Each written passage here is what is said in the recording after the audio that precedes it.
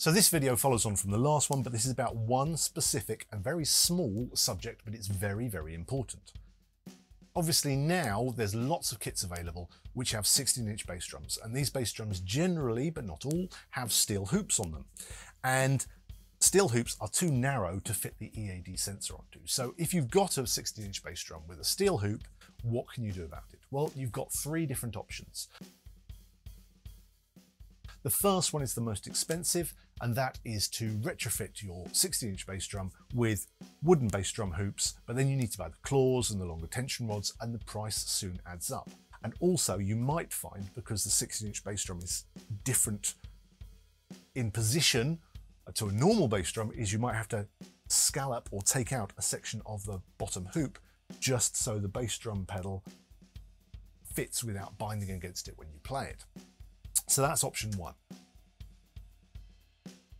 Option two is if you have a Yamaha groove wedge, you can reverse the groove wedge and mount it on top of your bass drum with the lip pointing outwards and mount the EAD sensor on that.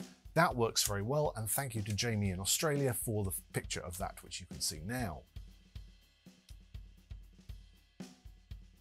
Then your third option is the cheapest and it's possibly the easiest. What you need to do is you need to get a second steel hoop.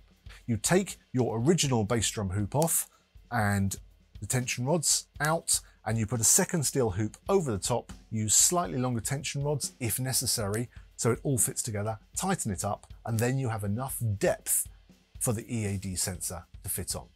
Now, if you're practically minded, you can also just get the extra hoop and you can just chop out the section you need just so the second two hoops are only over the top of the bass drum.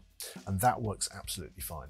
So if you need to mount the EAD sensor onto a bass drum with steel hoops, it's fine, it works well, and all you need to do to make sure it works properly is do what we did in the last video and adjust your microphones and adjust your trigger levels to work properly, and then everything is fine.